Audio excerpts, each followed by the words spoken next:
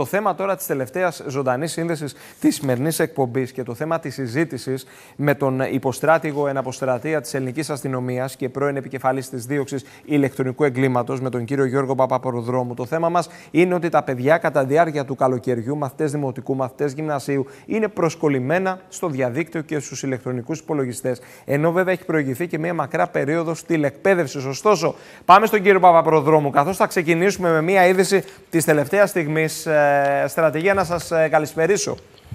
Καλησπέρα κύριε Παναγιώτοπουλε, καλησπέρα στους τηλεθεατές και τηλεθεάτρες που μας βλέπουν. Θέλω ένα πρώτο σχόλιο σε αυτή την είδηση της τελευταίας στιγμής που έχει να κάνει με τον παγκόσμιο δίκτυ κυβερνοασφάλειας όπου πλέον η Ελλάδα κατέχει την 28η θέση από την 77η, σωστά; Πολύ σωστά το λέτε κύριε Παναγιώτοπουλε. Ακριβώς αυτό αποτυπώνεται και στην τελευταία έκθεση που μόλις σήμερα ανακοινώθηκε από τη Διεθνή Ένωση Τηλεπικοινωνιών. Η ναι. προηγούμενη αφορούσε το έτος 2018 και μας είχε κατατάξει την 77η, ενώ αυτή απηχεί τα αποτελέσματα του 2020. Καταλαβαίνετε ότι μεσολαβεί κάποιος χρόνος για να επεξεργαστούν τα σχετικά, οι σχετικοί δείκτες και να υπάρχουν τα αποτελέσματα αυτά. Είναι κάτι πολύ θετικό για τη χώρα μας ε, και νομίζω ότι θα, θα, ήταν, θα το χαρακτήριζα και σαν την είδηση της ημέρας της σημερινής και όχι μόνο. Για ποιους και... λόγους, πού οφείλεται αυτή η εξέλιξη; Κοιτάξτε, εκεί αποτυπώνεται σε αυτούς τους δείκτες, υπάρχουν κάποια κριτήρια που βάζει ο Διεθνής Οργανισμός,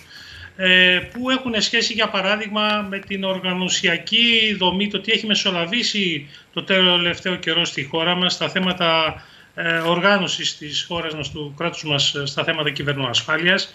Η αλήθεια είναι ότι το προηγούμενο διάστημα υπήρξαν πρωτοβουλίες και σε νομοθετικό επίπεδο και σε οργανωσιακό. Οπωσδήποτε όμως μένουν να γίνουν και αρκετά ακόμη βήματα τα οποία συνδέονται και με το θέμα σήμερα που αφορά τα παιδιά και την ασφάλειά τους ε, που θα πρέπει δηλαδή η εκπαίδευση στα θέματα κυβερνοασφάλειας να δώσει μεγαλύτερη έμφαση και βαρύτητα και να είναι πιο στοχευμένη πλέον η προσέγγιση. Δηλαδή δεν πρέπει να επαναπαυθούμε σε αυτό και να κοιτάξουμε από εδώ και πέρα τις χώρες που είναι μπροστά μας και να βελτιώσουμε αυτούς τους δείκτες όπως και το δίκτυο για την ψηφιακή οικονομία και κοινωνία, το γνωστό δίκτυο DESI για τη, σε επίπεδο της ψηφιακής Ευρώπης. Και εκεί είμαι αισιόδοξο ότι θα πάμε καλά. Λοιπόν, αλλάζουμε θέμα. Διανύουμε καλοκαίρι, όπως είπα και στον πρόλογό μου.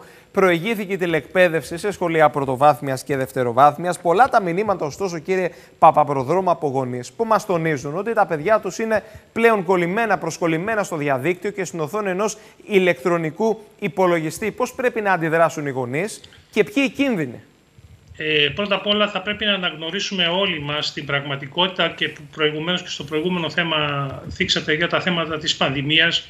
Ε, ένα χαρακτηριστικό της πανδημίας ήταν ε, η τηλεεργασία και η τηλεκπαίδευση. Αυτό πρακτικά για τα παιδιά μας ε, σήμανε ότι, θα, ότι έχουν αφιερώσει περισσότερο χρόνο στην οθόνη γιατί ουσιαστικά το θέμα που συζητάμε είναι ένα θέμα διαχείρισης του χρόνου ε, γύρω από την οθόνη. Άρα, ναι.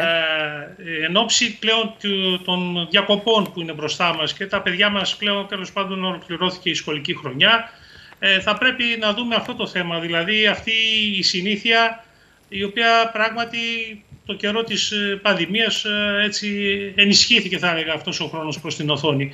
Θα πρέπει να υποκατασταθεί, να ενθαρρύνουμε τα παιδιά μας σε δραστηριότητες μακριά από την οθόνη, είτε είναι αθλητικές δραστηριότητες, είναι ε, δραστηριότητες ψυχαγωγίας κλπ. Και ανάλογα την ηλικία των παιδιών. Έτσι καταλαβαίνετε ότι όταν μιλάμε για παιδί μιλάμε από τις πολύ μικρές ηλικίες έως και από τις μεγαλύτερες εφηβικές ηλικίες που εκεί τα πράγματα είναι λίγο διαφορετικά.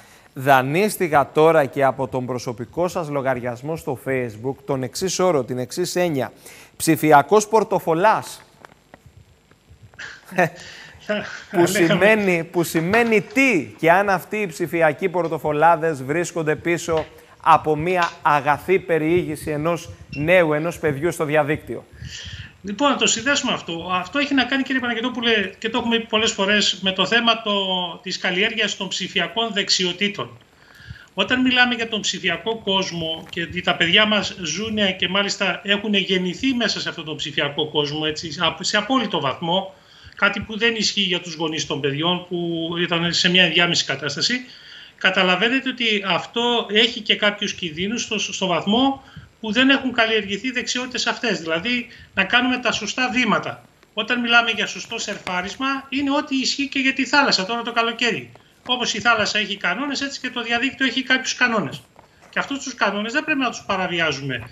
Οι λεγόμενοι ψηφιακοί πορτοφολάδες, οι οποίοι ας πούμε και το χαρακτήρισε έτσι μεταφορικά τον όρο προφανώς, ε, για τις περιπτώσεις απάτης κυρίως οικονομικής ε, φύσεως, σε πωλήσει προϊόντων, σε, σε διάφορες άλλες απατηλές συμπεριφορές μέσα στο διαδίκτυο, εκμεταλλεύονται ακριβώς αυτά τα κενά το ότι θα μας βρουν σε κάποια πράγματα ε, όχι τόσο ενημερωμένους, να μην τα γνωρίζουμε ή να ξεχνούμε πολλές φορές. Ε, δεν είναι τυχαίο δηλαδή ότι πολλές φορές τα μέσα ενημέρωσης έτσι, στη θετική διάσταση και προοπτική ενισχύεται, βοηθάτε στην ενημέρωση, στη σωστή ενημέρωση των συμπολιτών μας, αλλά δεν τα ακούμε, τα ξεχνάμε. Λοιπόν, χθες, και θέλω να σταθούμε σε αυτό, χθες δέχτηκα ένα προσωπικό μήνυμα από ένα φίλο τηλεθεατή της εκπομπής, τον κύριο Βαγγέλη ε, Μανουσάκη, ο οποίος μου είπε: Πρέπει να γίνει κάτι, πρέπει να πάρθει μια συγκεκριμένη πρωτοβουλία. Μια κίνηση από κεντρικά από το κράτος, προκειμένου να μπει ένα φρένο στην παράνομη αγορά προϊόντων. Βλέπε καυστικό υγρό που μπήκε ο ιερέας στο διαδίκτυο, το αγόρασε και το έριξε στους Μητροπολίτες στην, ε, στην Αθήνα. Πρέπει να μπει ένα φρένο σε αυτή την, ε, τη διαδικασία. Συμφωνείτε, στρατηγέ; Κύριε Παναγιώτοπουλε, το θέμα είναι σύνθετο, δεν είναι τόσο απλό και ας το δούμε και πέρα από το διαδίκτυο και στο προηγούμενο έτσι, περιβάλλον όπου πόσο ε, είχε πρόσβαση ένα άτομο ε, αν κάτι θέλει να αγοράσει ή όχι και πού μπορεί να το βρει. Ε, το πρόβλημα αυτό που λέω πάντα με τις τεχνολογίες, αν τις παραμοιάζουμε τις τεχνολογίες ε, ως έναν καθρέφτη, το πρόβλημα δεν είναι ο καθρέφτης, αλλά η κοινωνία μας που καθρεφτίζεται σε αυτό το καθρέφτη. Δηλαδή, αν η κοινωνία μας έχει άλλα, άλλου είδους προβλήματα, δεν φταίει η τεχνολογία. Και εδώ δεν πρέπει να δαιμονοποιούμε αυτή την... Έτσι, θέλει λίγο προσοχή. Φυσικά, ε, βεβαίως πρέπει να υπάρχει υπεύθυνη στάση και συμπεριφορά και να το συνδέσουμε με το προηγούμενο θέμα που είχε σχέση με το μουσείο και τα φάρμακα που αναφέρατε. Ναι. Δυστυχώς και ακόμη και τώρα και το ξαναλέμε και το έχουμε ξαναπεί, θα πρέπει η χώρα μας να συμμορφωθεί για παράδειγμα στο θέμα των φαρμάκων που διατίθεται στο διαδίκτυο. Δηλαδή να βοηθήσει να φτιάξει το νομικό πλαίσιο που υπάρχει. Βεβαίως και υπάρχουν περιθώρια κάποια πράγματα να γίνουν, τα οποία φυσικά θα είναι προϊόν διαλόγου κοινωνικού και Είστε έτσι ιδιαίτερα αυτή... ευαισθητοποιημένος στο συγκεκριμένο θέμα και θέλω να κάνουμε κάποια στιγμή μία συζήτηση, να αφιερώσουμε λίγο χρόνο το επόμενο διάστημα πάνω σε αυτή την αγορά των φαρμάκων μέσω του διαδικτύου. Σε κάθε διάλεξη, σε κάθε ομιλία σας, θέτετε και φέρνετε στο προσκήνιο αυτό το ζήτημα. Είναι πολύ σημαντικό και σε περίοδο πανδημίας, στρατηγέ.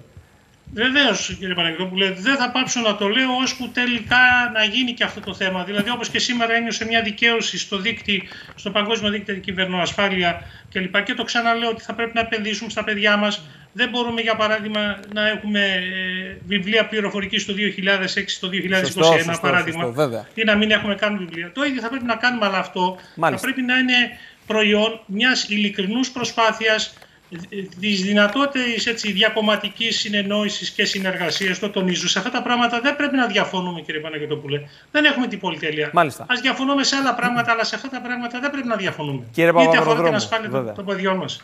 Να σας ευχαριστήσω πολύ. Να ευχηθώ κι εγώ καλό καλοκαίρι σε όλους. Καλά σε ευχ... και καλές θάλασσες θα πούμε. Βέβαια, βέβαια. Το πάντοτε όμως ε, να έχουμε το νου μας και χωρίς υπερβολές. Να είστε καλά, σας ευχαριστώ πολύ. Καλό βράδυ από Κρήτη. Να είστε καλά.